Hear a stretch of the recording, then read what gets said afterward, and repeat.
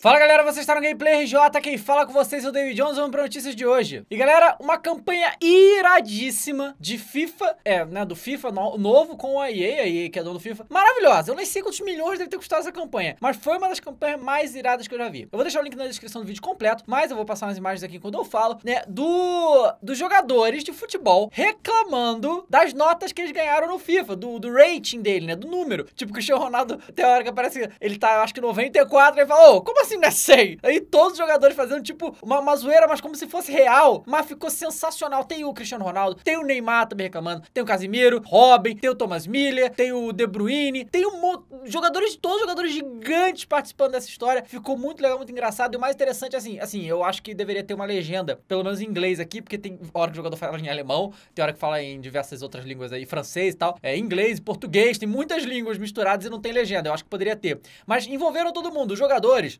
comissão técnica, os próprios comentaristas dos países, todo mundo falando a coisa de mudar o rate porque tá muito baixo, não sei o que, geral zoando, aí os caras puto. Maravilhoso. Foi, uma das melhores campanhas que eu já vi de videogame sendo feito isso aqui. Ficou muito irado. Eu recomendo vocês verem o vídeo completo que tá aqui na descrição. Eu, o Cristiano Ronaldo sempre é estrela, então o Cristiano Ronaldo é muito engraçado. Né? Como assim não sou 100?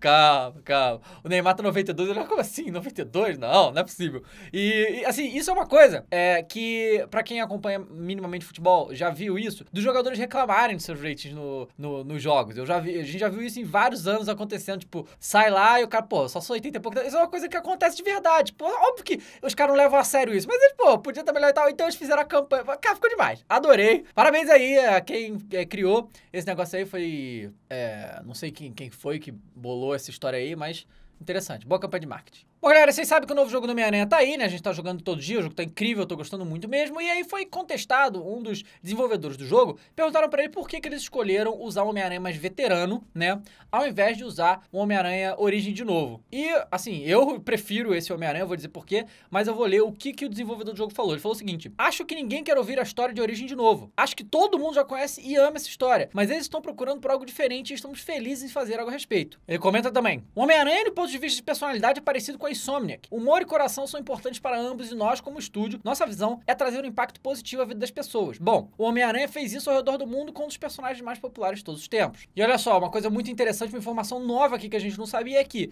lembra que o jogo do Homem-Aranha tá em português, mas a dublagem, eles colocaram as vozes em, portu em, em inglês, tipo, a Butra eles falam Vulture, Homem-Aranha não fala Homem-Aranha, falam Spider-Man, né? E aí foi confirmado isso aqui, que não foi o estúdio de dublagem que decidiu, foi uma decisão lá da origem. Falou aqui, ó, tentamos tornar o processo mais amigável possível e chegamos até a fazer um trailer especial em português, mas é preciso respeitar as diretrizes. Então foi a Marvel, a Sony, é, quem é dono do jogo que mandou fazer isso. A gente não curtiu isso, eu não vi, eu não vi absolutamente ninguém aqui no Brasil que achou isso legal, mas foi uma ordem direta lá de fora e obviamente o estúdio aqui não tem como não acatar com isso. Eu acho uma bobagem sem tamanho e não dá para entender porque o próximo filme do Homem-Aranha já foi confirmado que o, o título é Homem-Aranha, não é Spider-Man. Então não faz sentido o jogo ser de um jeito, o filme ser do outro, sei lá, é bobagem para mim. Mas realmente, eu também prefiro o Homem-Aranha mais veterano, porque você já tem o um mundo para você trabalhar em cima. Você não tem que apresentar tudo de uma maneira totalmente didática, tipo, até o último filme do Homem-Aranha, no Homecoming, que o, o Peter Parker é bem jovem, eles não botam a origem de como que ele ganhou os poderes e o tio Ben, não tem nada disso naquele filme lá. Então eu acho que é, foi, foi uma decisão acertada, porque com o Homem-Aranha mais velho você já tem o universo todo pronto e é só você trabalhar as histórias nele, eu acho que ficou excelente assim. Bom, galera, o novo jogo do The Walking Dead, o The Walking Dead lá da Overkill, que é o jogo meio Left 4 Dead, só que The Walking Dead, né? Que a gente viu um gameplay não agradou tanto né? Porque a build que foi jogada estava horrorosa, não sabia o jogo final, mas a build do demo que foi mostrado estava horrível, cheio de bugs, tudo travado, frame rate horroroso. Esperamos que a versão final seja melhor, mas vai ter um beta agora em outubro. Dia 9 de outubro vai ter um beta fechado para quem comprou em pré-venda no PC. Eles falaram que o jogo também vai ter mais betas pro futuro, mas ainda não declararam as datas. E assim, sinceramente, eu espero que eles demorem um pouco mais para lançar esse jogo, porque realmente a versão que foi mostrada para o público estava horrorosa e vamos esperar que venha alguma coisa melhor aí, porque aquela primeira versão, meu Deus do céu. Não tô dizendo nem em questão de mecânicas e de, é, de como que o jogo tá, assim, tipo, a ideia do jogo parece legal, mas a, a build, né, o desempenho do jogo tava horrível. Bom, galera, olha que loucura! League of Legends, a Riot, a Riot, a dona League of Legends, vão fazer um reality show no Brasil com jogadores de LoL com a premiação de 50 mil reais, olha aqui, ó, junto com a Gillette, ó. League of Legends vai receber um reality show brasileiro voltado aos esportes, intitulado Gillette Ult, Ultimate Legends Training. programa idealizado e produzido pelo Versus com a realização da Gillette,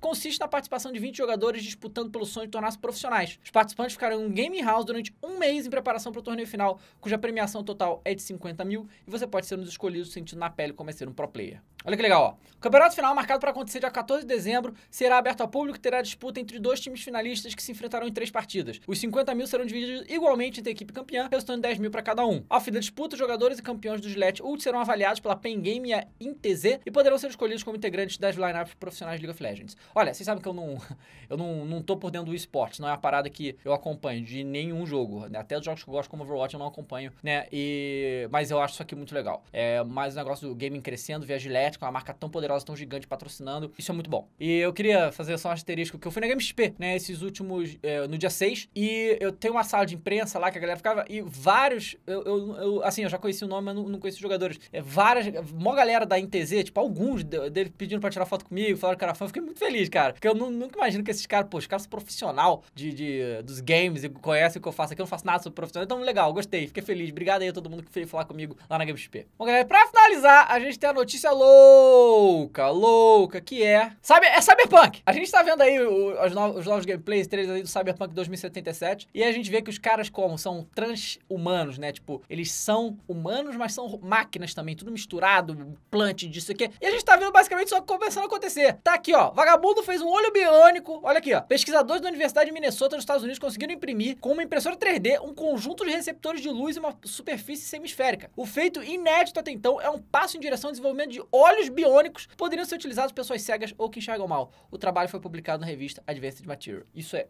sensacional. Mas vamos lá. De acordo com os autores do projeto, o professor de engenharia mecânica Michael McAlpine, a maior surpresa foi ter alcançado 25% de eficiência na conversão de luz em eletricidade com o dispositivo. Para ele, ainda falta muito para desenvolver a impressão desse tipo de eletrônico de forma rotineira, mas a pesquisa mostra o potencial da impressora 3D utilizado por eles. Galera, isso é incrível, né? É, isso é, é eu falo, eu amo tecnologia, né, galera? E assim, cara, imagina, você conseguir fazer, porque assim, quando a pessoa é, é cega, existem muitas razões para a pessoa ser, ficar cega, mas a maior parte de quando a pessoa fica cega é porque dá problema no olho, efetivamente. Só que vocês estão ligados que o olho é ligado ao cérebro, o cérebro processa informação e vê. Então, cara, você conseguir dar às pessoas a visão de novo através de um, de um, de um olho biônico seria uma coisa maravilhosa, revolucionário. Eu queria tanto que isso acontecesse, cara. Nossa, imagina isso, cara. As pessoas seguem poder ver de novo, sabe? É, é, loucura, loucura, loucura. E imaginar que nós vamos conseguir. Cara, aí é, é, é, difícil, né? Cara, é difícil porque a, a, gente vê que tem muitos. Tipo assim, eu já vi muita série de médico, né? E essas séries de médico é, é muito comum que os cirurgiões cardíacos e os é, neurocirurgiões, a galera nessas séries fala que eles se acham deuses, né? E aí você sabe que essas cirurgias que eles fazem nos, nas séries são é, baseadas em reais. Então, existem médicos que fazem essas coisas. E, cara, assim, eu, eu entendo, mas deve ser difícil o cara não se achar Deus. Tipo, o cara tá entrando na sua cabeça, movendo uma coisa daqui, outra ali e, e te salvando. É, é, muita doideira, sabe? Então, imagina isso aqui, cara. O ser humano está criando olho. Eu tô fazendo um olho do nada. Muita doideira. É muita doideira. A tecnologia é uma coisa impressionante e maravilhosa. Tomara que isso se torne realidade. Bom, galera, finalizar por aqui. Muito obrigado a todo mundo que assistiu. Se vocês gostaram, não esqueçam de se inscrever. Vídeos novos todos os dias, vários horários. Clique no gostei, comenta aqui embaixo. Até a próxima com mais um jogo, mais um vídeo. Valeu!